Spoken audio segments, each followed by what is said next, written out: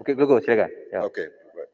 Terima kasih ya, Tuan Speaker. Saya juga telah pun mengemukakan satu usul berkenaan dengan isu Petronas ini dan ianya telah pun ditolak seperti uh, usul-usul lain. Uh, persoalan yang ingin saya timbulkan uh, bukan saja seperti mana saya sokong apa Kota Belud telah pun menyatakan tadi, tetapi apa yang uh, lebih penting adalah kritik uh, pengkritikan di sini adalah terhadap the AG's Chambers yang diketuai oleh abang Tuan Speaker. Nah, sekiranya abang Tuan Speaker akan dikritisize atas isu ini yang sudah tentunya akan berlaku, you are in a conflict of interest. You cannot decide this motion. With the greatest of respect, you are a lawyer.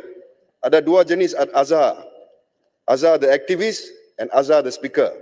Kalau Azhar the activist yang memutuskan ini, dia tidak akan memutuskan ini. Sebab ada conflict of interest.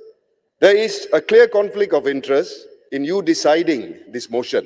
Saya dengan uh, segala hormatnya menyokong apa yang telah pun dikatakan oleh Kota Belud. Tiga kali. Tiga kali. Ini kali Tiga ketiga kali. kena reject. Look Tiga what had kali happened now. motion ini telah pun di, uh, persoalan ini di- ditolak. Ini uh, satu perkara yang amat penting. Berbilion-bilion ringgit, Tuan Speaker. Berbilion. Why was a stay of execution given in so late? Betul. Adakah satu stay of execution itu sekarang berkuat kuasa? Semua persoalan ini perlu dijawab.